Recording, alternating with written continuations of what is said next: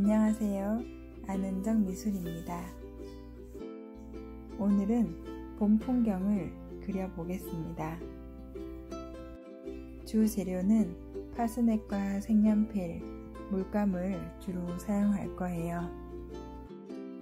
봄에는 개나리와 진달래, 벚꽃과 목련꽃, 철쭉꽃, 또 산수유꽃들이 많이 피어납니다.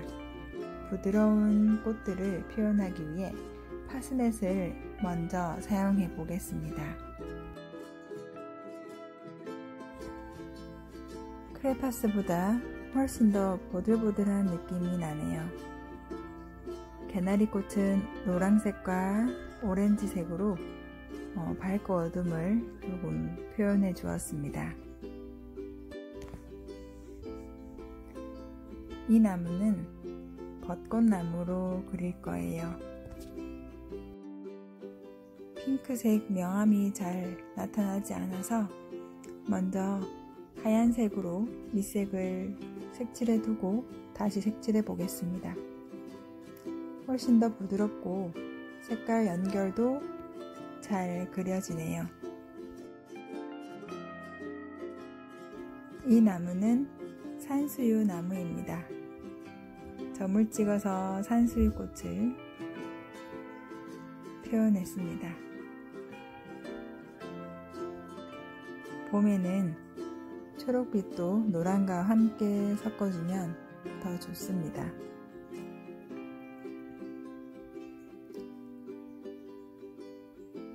색의 명암을 조금씩 표현해 주고 있어요.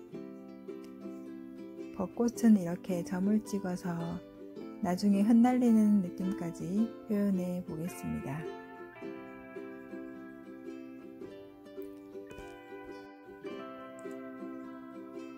목련꽃은 하얀색 유성 색연필로 먼저 색칠해 줍니다. 물감이 튀어 들어가지 않도록 하기 위해서죠.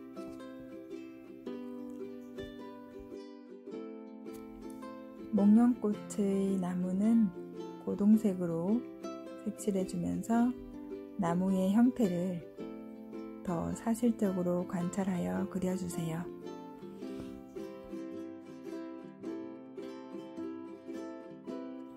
봄꽃의 나무줄기는 조금 어두운 색으로 색칠해야 꽃이 더 돋보이게 표현될 수 있습니다.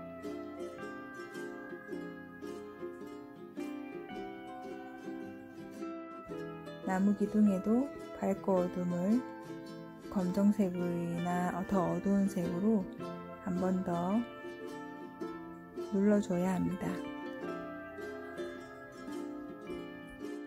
물감 사용하면서 많이 번지는 경우엔 이렇게 배경에 파스넷으로 먼저 색칠을 해두고 나중에 물만 발라서 슬슬슬 파스넷을 녹여주면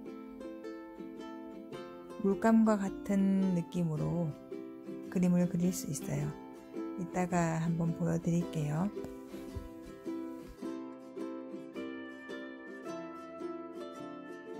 붓에 물감을 묻히지 않고 물만 묻혀서 파스넷 위를 살살살 지나가주면 파스넷이 녹으면서 이렇게 자연스럽게 연결이 됩니다.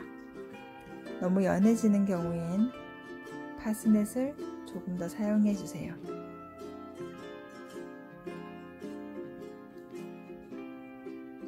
붓에 물감을 묻히지 않고 지금 물로만 계속 색칠하고 있는 중이에요.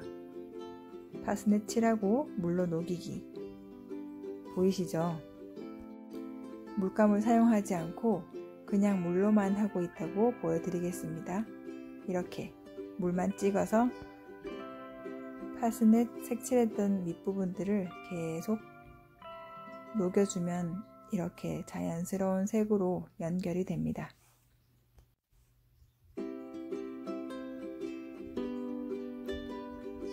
전체적으로 부드럽게 밑색을 다 색칠해주고 이제 어두운 부분에 더 어둡게 해야 되는 경우에는 물감을 조금씩 사용해 보도록 하겠습니다.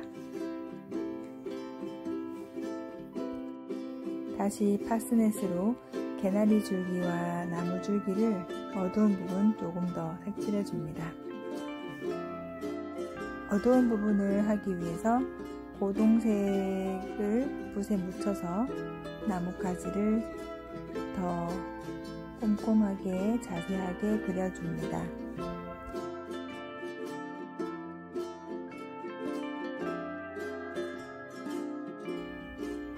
어두운 부분 포인트 되도록 나뭇가지를 조금 사실적으로 자세하게 그려주세요. 이제 앞에 있는 벚꽃 나무를 조금 더 선명하게 예쁘게 그려볼게요. 핑크색을 진하게 묻혀서 어두운 부분에 몇 군데 더 찍어줍니다. 그리고 하얀색 물감을 묻혀서 밝은 곳에 이렇게 점점점을 찍어주세요. 벚꽃 흩날리는 꽃잎도 찍어주었습니다. 이제 개나리꽃도 가장 밝은 부분에 흰색과 노란색을 섞어서 자세하게 꼼꼼하게 색칠해 줍니다. 산수유꽃도 마찬가지로 해주면 돼요. 가장 밝은 부분을 찍어주니까 봄의 화사한 느낌이 나네요. 어두운 부분도 색이 연결될 수 있도록 색칠해 주세요. 멀리 있는 산도 색감을 조금 눌러 주었습니다. 이렇게 파스넷과 색연필 물감을 사용하여 화사한 봄 풍경을 그려보았습니다. 여러분도 다양한 재료를 사용해서 도전해 보세요. 그럼 안녕.